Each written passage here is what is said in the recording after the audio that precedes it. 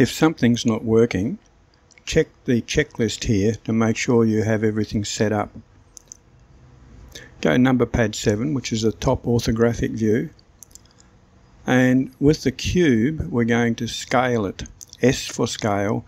And we're going to do it on the X. Now, I didn't have the cube selected. I have to click on the cube and it was going to bring up the wrong menu. So now it's selected. I'm going to go SX Uh, just roughly this proportion. Doesn't have to be exact because we change the sizes as we go. Now scale it SY. So it's just roughly the same proportion as mine. Go to number pad 1, which is front orthographic view, and scale it on the Z axis. SZ. Roughly like that. Very easy. Now we go back to the top orthographic, number, number pad 7, and we go to edit mode. Go out of object mode and into edit mode. And we're going to do what they call loop cuts.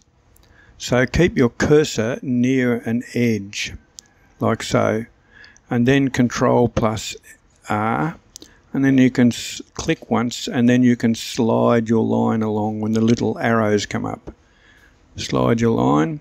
Now move your cursor to one of the end edges. There we go, Control R and then slide, click once and slide your line. So click once and slide your line again. So you've got a border around your uh, key fob. Um, this means the ends will curve at the next step. So now we um, need to go to object mode and I just click tab there for object mode and we go to the modifiers.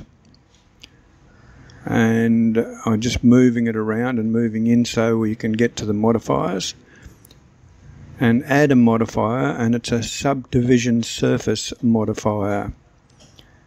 On the subdivision surface you can now see the ends of the object moving in but we want two levels now we can apply because we're in object mode.